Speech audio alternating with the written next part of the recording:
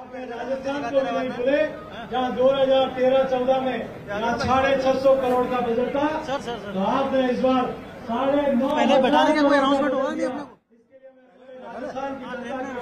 हाँ, ये हूँ। तो आज़ादी के अमृत काल में अमृत रेलवे स्टेशन योजना में राजस्थान के बयासी रेलवे स्टेशनों का सौंदर्यकरण। ये पहली बार है कि रेलवे स्टेशन अब हवाई अड्डे के मुकाबले कम नहीं लग रहे हैं। ये स्वच्छ भारत अभियान का एक जीता जागता उदाहरण है। मैं आपके बीच में ज़्यादा लंबी चौड़ी बात नहीं कहते आदरणीय रेल मंत्री जी, हम सब का मार्गदर्शन करेंगे।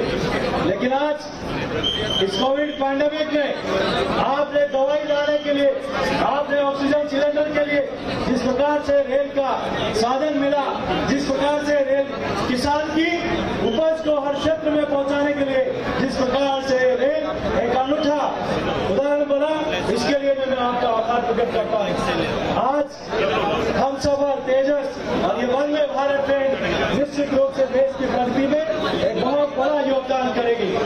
अभी कुछ हमारे साथियों ने कई सारी बातें कही। जाऊँगा नहीं जाता अध्यक्ष मान जी बैठे मालवा, मेवाड़ और मारवाड़ को जोड़ने के लिए आपने जिस प्रकार से इस राजस्थान को सौगात दी है, और ऐसी अनेक, चाहे डबलिंग हो, चाहे इलेक्ट्रिफिकेशन हो चाहे गैस कन्वर्जन हो आज़ादी के बाद इतना काम रेलवे में पहली बार देखा है। तो मैं आज देव जी की सुनगरी में आपका और देश के यशस्वी प्रधानमंत्री जी का अपनी ओर से आभार प्रकट करता हूँ कि आपने राजस्थान को जिस प्रकार से रेलवे के क्षेत्र में सौगात दी है, वो निश्चित रूप से अविस्मरणीय है, अद्भुत है।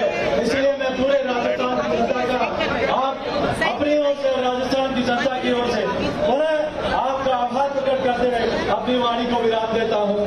बहुत बहुत धन्यवाद। जय हिंद जय भारत।